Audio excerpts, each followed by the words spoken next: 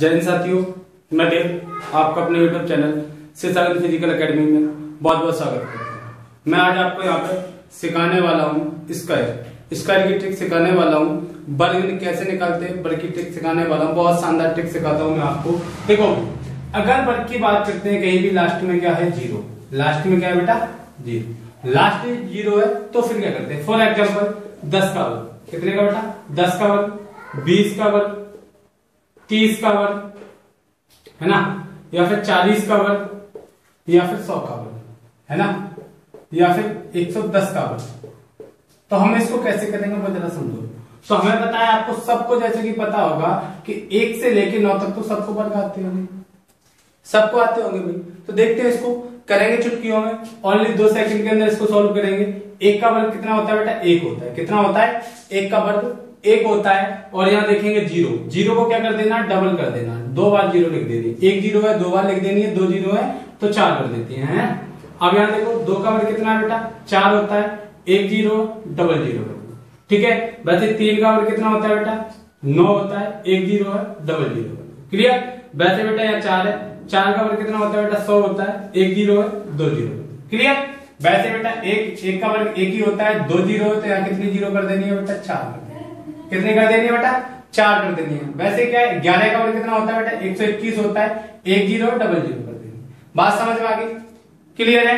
Take समझ में आ रही है? देखो अगला में कैसे करते हैं यहाँ से, और एग्ज़ाम्पल अगले नेक्स्ट की बात करते हैं बेटा, जरा देखो।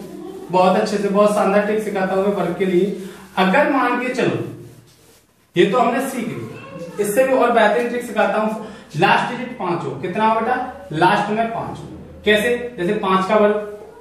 पंद्रह का वर्ग, पच्चीस का वर्ग, है ना? पैंतीस का वर्ग, या फिर पैंसठ का वर्ग, या फिर पचासी का वर्ग। ठीक है? इसको कैसे निकालते हैं? वो जरा समझ लो बेटा।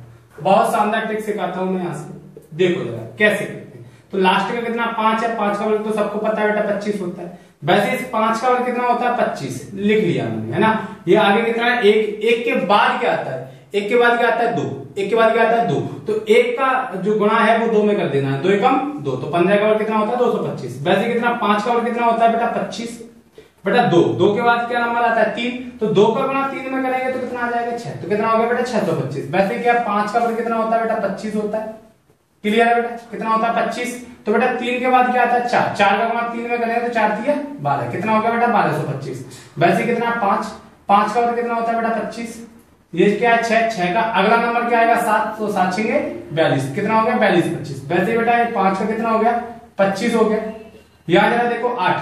आठ के बाद क्या आता है? नौ। आठ का नौ में गुणा करेंगे तो कितना हो जाएगा? बहत्तर। बेटा, क्या ये टेक समझ में आई?